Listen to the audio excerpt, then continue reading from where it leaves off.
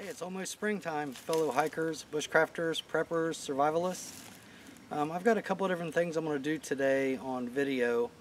Um, one is showing you how closely related all of the things I just mentioned are.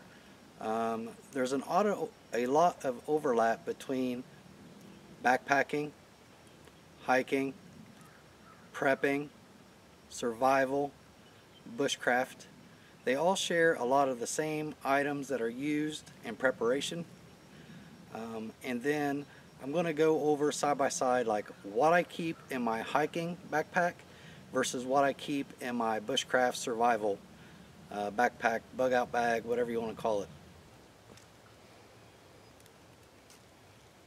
Alright, so basically what we have here on the left is what I would generally have as a um, survival bushcraft kit.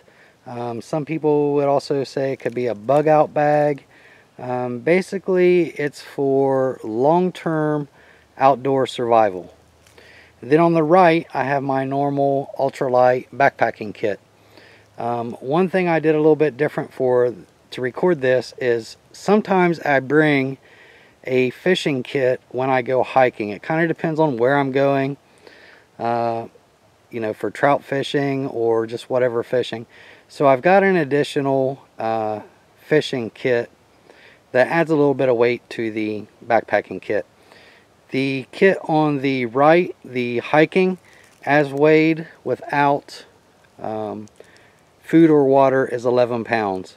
The kit on the left, as weighed without food or water, is 30 pounds.